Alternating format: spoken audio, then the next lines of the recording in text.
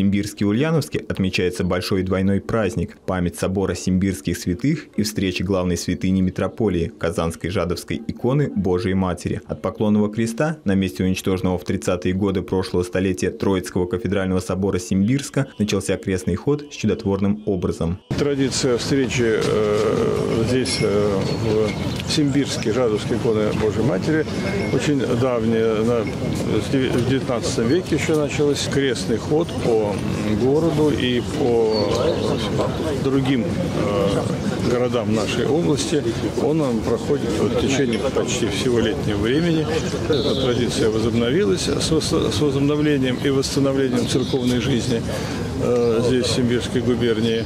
И сейчас, э, вот после некоторого небольшого перерыва, связанного с эпидемией, ковида, вновь э, этот крестный ход идет по, нашим, по нашему городу. Крестный ход с чудотворной иконой возглавили митрополит Симбирский и Новоспасский Лонгин, епископ Барышский Индинский Филарет и епископ Меликетский и Чертоклинский Диодор. Казанская Жадовская икона Божией Матери была явлена в конце 17 века на роднике села Жадовка. Первое принесение образа с крестным ходом в Симбирск состоялось в 1848 году ради избавления от эпидемии холеры болезнь отступила, а благочестивая традиция крестного хода с иконой сохранилась вплоть до 1924 года, когда обитель была закрыта и разграблена. В период гонений на церковь икона хранилась у благочестивых христиан, и лишь в 2004 году крестный ход с ней был возобновлен. Чудотворная казанская жадовская икона Божией Матери пребывает в Жадовском мужском монастыре Барышской епархии. Верующие прошли по центральным улицам города до Спаса-Вознесенского кафедрального собора. Участие в крестном ходе приняло более 500 человек. Раз принимаете участие в Да, крестном первый ходе. раз. Первый раз. Какие чувства, ощущения у вас сегодня? На душе очень тепло, радостно. О чем легко. хотели бы помолиться Божьей О Матери? своих близких. О чем хотели бы помолиться Божьей Матери? С какими чувствами, ощущениями здесь крестным ходом? А, Помолиться, конечно, о детях, о родителях. Помолиться, кто сейчас у нас защищает нашу Родину. За них обязательно помолиться. Вот. Ну и вообще за всех православных. Дай Бог, чтобы был мир хорошее настроение. И все здоровые были. О чем бы хотели помолиться Божьей Матери сегодня? Много о чем.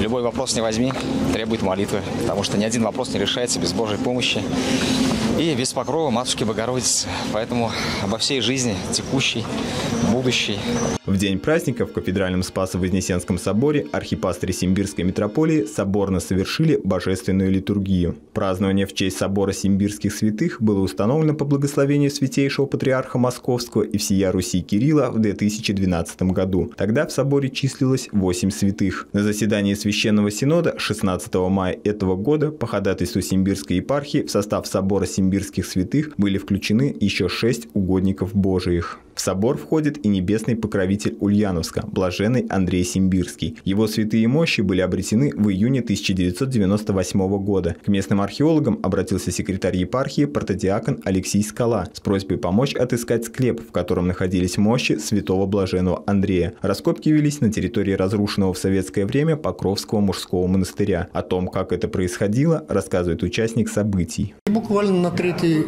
день мы наткнулись на остатки этого склепа. Вот такая была история.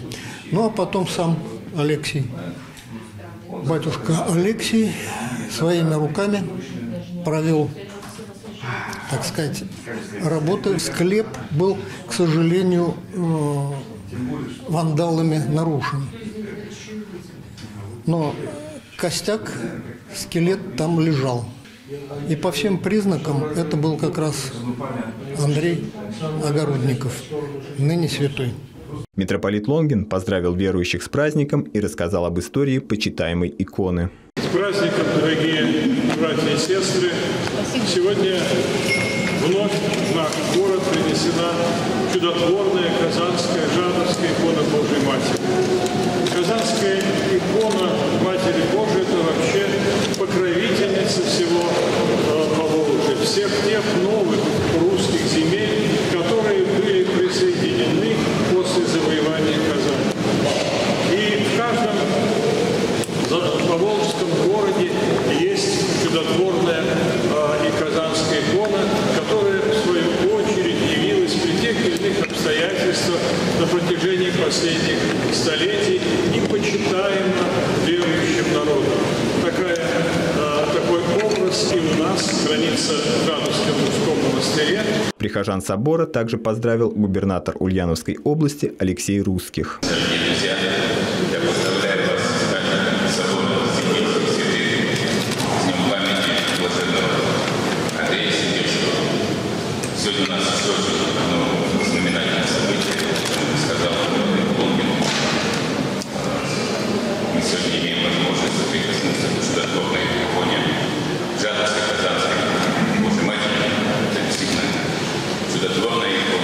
Казанская Жадовская икона Божией Матери будет находиться в Ульяновске до 20 июня. Сергей Николаев, Юрий Конихин, Симбирская митрополия.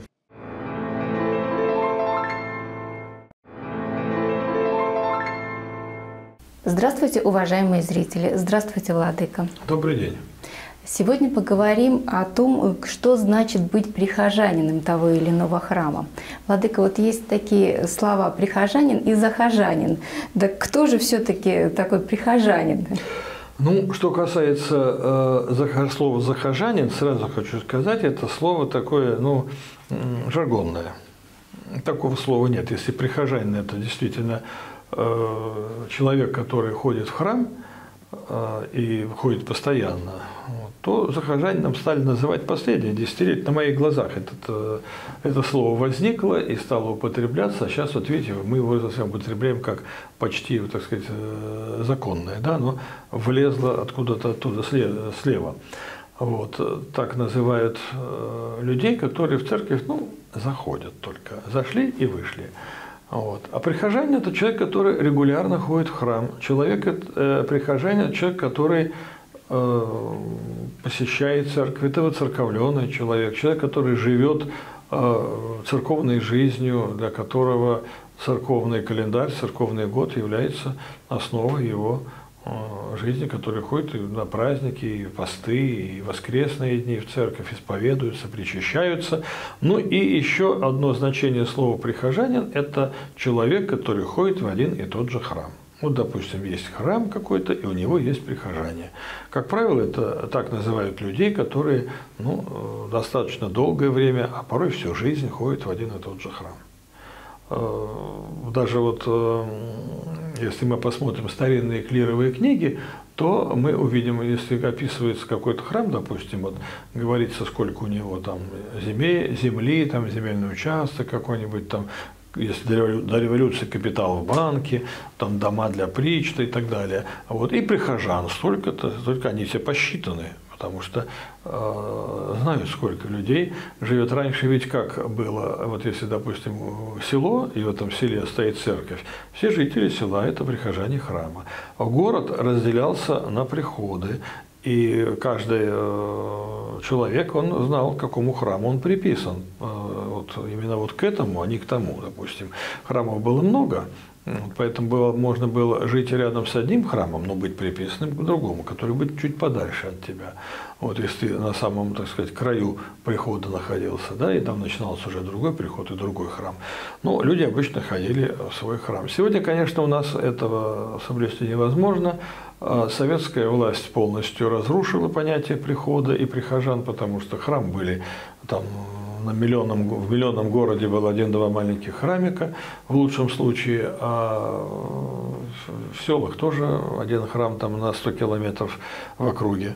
Вот поэтому, конечно, все вот это а, исчезло, и с восстановлением нашей церковной жизни она восстанавливается уже достаточно давно, около 30 лет, но все равно мы еще очень далеки от того, что было когда-то, и в том числе от таких вот э, ну, четкого разграничения а, прихожан по приходам. Ну, может быть, это в наше время и, и, и не надо, а, потому что сейчас люди более мобильные, чем раньше. Вот, храмов много, слава Богу, ну, по крайней мере, э, они есть, не в шаговой доступности, но все же достаточно э, легко можно, можно добраться до храма. Вот. Ну и, конечно же, главное свойство, качество прихожанина – это то, что он ходит в церковь регулярно. Не просто зайдет так вот мимо, э, идя на работу или с работы, там свечку на всякий случай поставить, да, а ходит на богослужение, посещает их и, ну, еще, конечно, вот одно из таких качеств, знает, что такое богослужение. То есть получается, что э, люди сейчас могут выбрать свой храм, да, не обязательно, чтобы это был ближайший храм.